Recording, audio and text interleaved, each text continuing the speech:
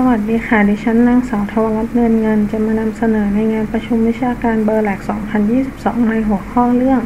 การตรวจสอบผลการจำลองการระบายอากาศโดยวิธีธรรมชาติในบ้านเดี่ยวกับกรณีศึกษา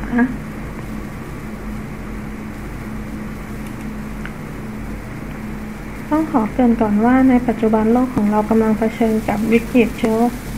เชื้อโควิด -19 ซึ่งเป็นสาเหตุของอาการเจ็บป่วยและการติดเชื้อใน ระบบทางเดินหายใจ โดยหนึ่งในวิธีการป้องกันโรคดังกล่าวก็คือ การเพิ่มอัตราการระบายอากาศ โดยงานวิจัยนี้จะมุ่งเน้นการศึกษาการระบายอากาศในอาคาร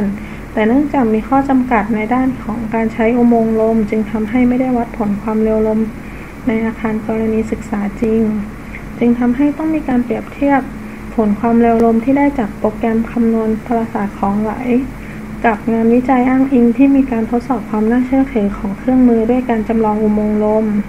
และนำค่าความเร็วลมเฉลี่ยในแต่ละห้องมาเปรียบเทียบกับความเร็วลมเฉลี่ยที่วัดได้จากโปรแกรมจำลอง เพื่อให้ผลของแบบจำลองมีความน่าเชื่อถือ และสามารถนำไปประยุกต์ใช้เป็นเครื่องมือในการออกแบบหรือ ปรับปรุงช่องเปิดเพื่อเพิ่มประสิทธิภาพในการระบายอากาศ โดยวิธีธรรมชาติสำหรับบ้านเดี่ยวต่อไปได้ค่ะ โดยเริ่มแรกได้ทำการศึกษาขนาดและประเภทการใช้งานของห้องที่ใช้ในการจำลองนะคะ โดยการนำกรณีศึกษาจากงานวิจัยของอาจารย์อเนกในปี 2550 มาใช้ในการเปรียบเทียบความน่าเชื่อถือของโปรแกรม ซึ่งลักษณะบ้านคือเป็นบ้านเดี่ยว 2 ชั้น ขนาด 12คูณ12 เมตร มีจำนวนทั้งหมด 6 ห้อง ได้แก่ ห้องรับแขก ห้องรับประทานอาหาร ห้องครัว ห้องนอนจำนวนสามห้อง ห้องแขกบนห้องรับแขกบนชั้นสองโดยการวัดผลนะคะ จะวัดผลความเร็วลมที่ชั้นหนึ่งที่ระดับความสูง 75 เซนและที่ชั้นสองที่ระดับความสูง 3 เมตร 75 จากพื้นดินนะคะ โดยตำแหน่งในการวัดเนี่ย จะอยู่จะห่างจากริมผนังกำแพงนะคะ 50 เซนและ และระหว่างจุดจะอยู่ห่างกันในทุกๆ 1 เมตร ดังภาพที่ 1 นะคะ โดยจะมีการตั้งขอบเขตในการจำลองในโปรแกรม CFD นะคะ ก็คือออระหว่างแบบจำลองกับช่องลมเข้าเนี่ย มีระยะเท่ากับ 6 เท่าของความสูงอาคาร ระยะระหว่างแบบจำลองกับช่องลมออกนะคะ จะมีระยะ 10 เท่าของความสูงอาคาร แล้วก็ด้านข้างนะคะ จะมีระยะห่าง 3 เท่าของความสูงอาคาร แล้วก็ขอบเขตด้านบนจะมีระยะห่างเท่ากับ 6 เท่าของความสูงอาคารนะคะ จากการทดสอบกรณีศึกษาด้วยโปรแกรมคำนวณนะคะจะทำการเปรียบเทียบกีด3กีดได้แก่กีดหยาบกีดพื้นฐานและกีดละเอียดนะคะ ซึ่งการกำหนดบริบทและความเร็วลมเนี่ยก็คือกำหนดที่ ความเร็วลมที่ 2 เมตร ต่อวินาทีที่ระดับอ้างอิง 10 เมตร โดยนำผลที่ได้จากการประเมินหาประสิทธิภาพความน่าเชื่อถือของโปรแกรมเนี่ย มาคำนวณค่า RSME นะคะ โดย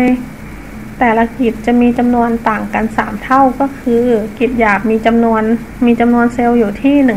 1,2,600 เซลล์ กิจพื้นฐานมีจำนวนเซลล์อยู่ที่ 320,000 320 เซลล์และกิจละเอียดมีจำนวนเซลล์อยู่ที่ 972,224 เซลล์ค่ะสามารถดูได้ในภาพข้างล่างนะคะ โดยมีการกำหนดค่าการทำซ้ำอยู่ที่ 8 8,000 รอบนะคะ เพื่อให้ผลจำลองเนี่ย ได้ผลลัพธ์ที่ยอมรับได้ค่ะ ก็คือมีค่าเออร์เลอร์น้อยกว่า 0.1%ค่ะ โดยเมื่อทำการทดสอบแล้วเนี่ย เราก็จะนำค่าผลความเร็วลมที่ได้นะคะมาเเข้าสูตรในการเปรียบเทียบหาผลหาความถูกต้องของโปรแกรม โดยใช้สมการ RMSE ที่เห็นอยู่ข้างต้นนะคะก็คือ RMSE เนี่ย คือค่าความคาดเคลื่อนทางสถิติ ซึ่งค่า V1 คือ ความเร็วลมที่ได้จากโปรแกรมจำลองและ V2 คือ ความเร็วลมที่ได้จากงานวิจัยอ้างอิงนะคะ ผลการเปรียบเทียบของกิจ3กิจนะคะ จากงานวิจัยอ้างอิงนะห้องรับแขกและห้องรับประทานอาหารมีความเร็วลมเฉลี่ยอยู่ที่ 0.6 เมตรต่อวินาที ผลการจำลองกิจ3ขนาด พบว่าห้องดังกล่าวมีความเร็วลมอยู่ที่ 0.56 0.60 และก็ 0.60 เมตรต่อวินาทีนะคะ ตามลำดับ ห้องครัวไทยมีความเร็วลมอ้างอิงเฉลี่ยอยู่ที่ 0.4 เมตรต่อวินาที และผลจำลองของสามกิจ มีความเร็วลมเฉลี่ยอยู่ที่ 0.26 0.25 0.25 นะคะ เมตรต่อวินาที ห้องนอนมีความเร็วลมเฉลี่ยอ้างอิงอยู่ที่ 0.6 เมตรต่อวินาที และผลจำลองของสามกิจ มีความเร็วลมเฉลี่ยอยู่ที่ 0.77 0.58 และ 0.59 เมตรต่อวินาทีตามลำดับค่ะ ห้องนอนที่ 2 มีความเร็วลมเฉลี่ยอ้างอิงอยู่ที่ 0.4 เมตรต่อวินาที ผลการจำลองของสามกิจมีความเร็วลมเฉลี่ยอยู่ที่ 0.42 0.41 และก็ 0.41 ค่ะ ห้องนอนที่ 3 มีความเร็วลมเฉลี่ยอ้างอิงอยู่ที่ 0.4 เมตรต่อวินาที การจำลอง สามกิจนะคะ มีผลความเร็วลมอยู่ที่ 0.33 0.31 และ 0.33 เมตรต่อวินาทีตามลำดับค่ะ แล้วก็ห้องสุดท้ายนะคะ คือห้องรับแขกที่ชั้น 2 มีผลความเร็วลมเฉลี่ยอยู่ที่ 0.6 เมตรต่อวินาทีนะคะ ซึ่งผลจากการจำลองสามกิจมีความเร็วลมเฉลี่ยอยู่ที่ 0.52 0.54 และ 0.57 เมตรต่อวินาทีค่ะ พิจารณาได้จากรูปทางขวามือนะคะ โดย โดยกิจหยาบ จะมีค่า RMSE มากที่สุดนะคะ อยู่ที่ 0.18 ลองลงมาคือ กิจพื้นฐานมีค่า RMSE อยู่ที่ 0.13 นะคะ และกิจละเอียดมีความมีค่า RMSE น้อยที่สุดอยู่ที่ 0.11 ค่ะ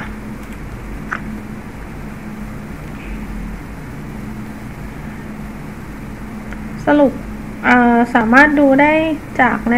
ตารางทางด้านขวามือนะคะ สรุปผลการศึกษาและก็ข้อเสนอแนะนะคะ จากการจำลองด้วยโปรแกรมคำนวณพลศาสตร์ของไหลที่กำหนดความเร็วลมตั้งต้นอยู่ที่ 2 เมตรต่อวินาทีที่จุดอ้างอิง